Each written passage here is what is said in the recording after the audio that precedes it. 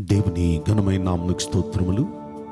ఈ వాగ్దానం వింటున్న మీకందరికీ మన ప్రభువును ప్రియ రక్షకుడైన యేసుక్రీస్తు నామములో శుభములు మా హృదయపూర్వకమైన వందనములు తెలియచేస్తున్నాం.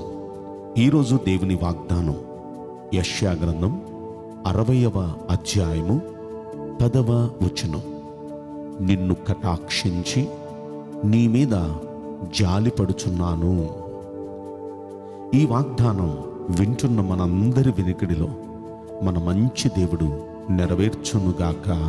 ఆమెన్. ఇంతకుముందు జరిగిందేంటి? ఆయన అంటున్నాడు ఆ నేను కోపబడి నిన్ను కొట్టి తిని కానీ నిన్ను కటాక్షించి నీ మీద జాలిపడుచున్నాను అంటాడు. అసలు ఆయన కోపపడి కొట్టడానికి కారణమేంటి? మనం అంతకు ముందు అధ్యాయం చూస్తే ఆ కారణాలు యాభై తొమ్మిదవ అధ్యాయం యశా గ్రంథంలో చెప్తాడు. మూడో వచనం మీ చేతులు రక్తము చేతను మీ వ్రేళ్ళు దోషము చేతను అపవిత్రపరచబడి ఉన్నవి. మీ పెదవులు అబద్ధాలాడుతున్నాయి. మీ నాలుక కీడును బట్టి మాట్లాడుతున్నాయి.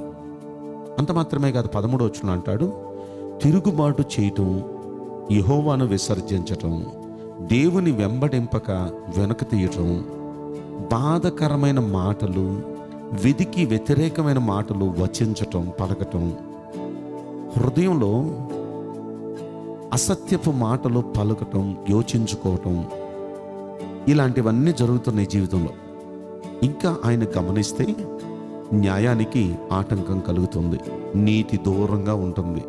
సత్యం సంత వీధుల్లో పడున్నట్టు అయిపోయింది. ధర్మం అసలు లోపల ప్రవేశింపనే ప్రవేశింపకుండా అయిపోయింది.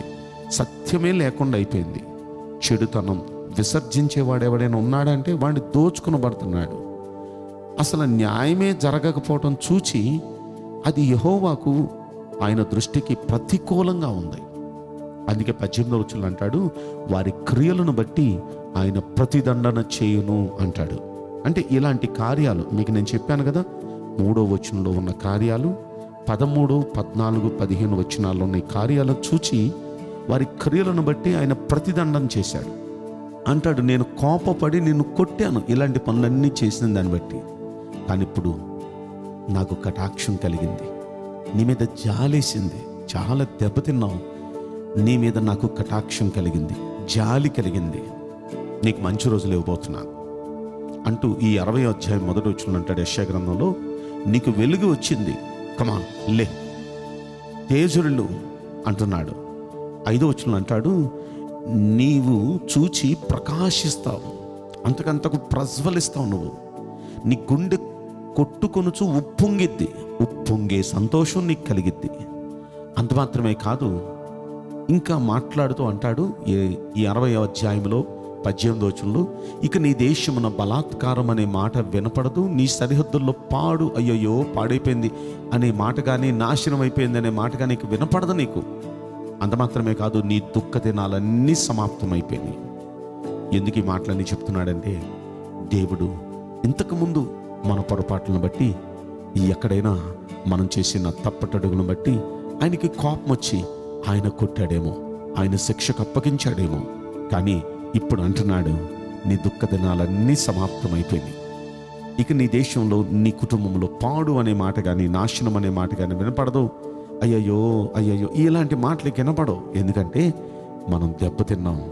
మన జీవితాల మీద ఆయనకి జాలిపడ్డాడు ఆయనకి కటాక్షం కలిగింది. మనకు మంచి రోజులు ఇవ్వబోతున్నాడు. కనుక ప్రియ దైవ జనాంగమా ఈ మాటలు ఈ వాగ్దానం వింటున్న మీ అందరి వెనుకిడిలో ఎన్నాళ్ళు కష్టాలు నష్టాలు నిందలు అవమానాలు ఇవన్నీ ఏంటంటే ఆ దెబ్బలకి అప్పగించాడు దేవుడు. జాలిపడ్డాడు మళ్ళీ. మంచి రోజులు ఇవ్వబోతున్నాడు. వెలుగు వస్తుంది మనకి ఇంకా ఇక మన జీవితంలో మంచి పరిస్థితులు మంచి పరిస్థితులు మన దేవుడు మనకి ఇవ్వబోతున్నాడు. ఈ మాటలను బట్టి విశ్వాసంతో ఎదురు చూడండి ఈ వాగ్దానం వింటున్న మనందరి వెనుకల్లో మంచి దేవుడు నెరవేర్చబోతున్నాడు. నేను మీకోసం ప్రార్థన చేయబోతున్నాను. పరిశుద్ధుడా ప్రేమలేసురాజా మీ పరిశుద్ధ బంగారు పవిత్రమైన నామ్మునకు నిండు మనసుతో కోట్ల కొలదిగా స్థుతులు స్తోత్రములు వందనాలు చెల్లిస్తున్నాం. ఈ ప్రశస్తమైన ఈ సమయంలో ఈ వాగ్దానం వింటున్న ప్రియుల జీవితంలో దయచేసి ఈ వాగ్దానం నెరవేర్చి కృప చూపించండి. ప్రభువా ఇన్నాళ్ళు ఇన్నేళ్ళు రకరకాల దెబ్బలు రకరకాల సమస్యలు రకరకాల ఇబ్బందులు ఈ భయంకరమైన పరిస్థితులు రావటానికి గల కారణం మా పొరపాట్లు మా పాపాలు. వాటిని బట్టి నీకు కోపం వచ్చింది. ఆ కోపంతో మమ్మల్ని శిక్షకు అప్పగించావు. అయ్యా దయచేసి మమ్మల్ని చూచి ఈ రోజు మీరు జాలిపడ్డానంటున్నారు. నాకు జాలేసింది నా కటాక్షం మీ మీదకి వస్తుందన్నారు. నిశ్చయంగా ఈ వాగ్దానం వింటున్న ప్రతి ఒక్క జీవితం మీద మీ కటాక్షం కనబరచండి. ప్రతి ఒక్క వ్యక్తిని ప్రభు మీద మీరు జాలిపడమని మిమ్మల్ని వేడుకుంటున్నాం.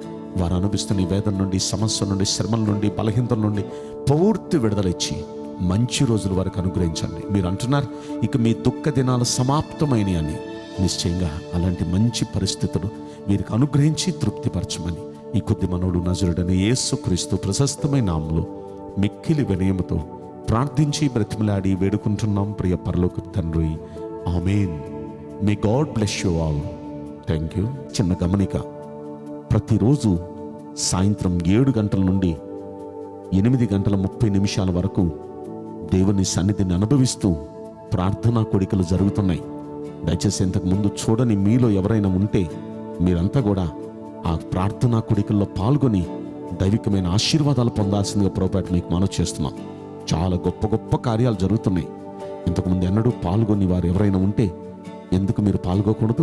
మిమ్మల్ని అందరినీ మీటింగ్కి ఆహ్వానిస్తున్నాం. ప్రతిరోజు సాయంత్రం ఇదే ఛానల్లో ఏడు గంటల నుండి జరిగే ఆ మీటింగ్లో మీరు కూడా పాల్గొని దైవికమైన ఆశీర్వాదాలు పొందాల్సిందిగా మిమ్మల్ని ఆహ్వానిస్తున్నాం. May God bless you all thank you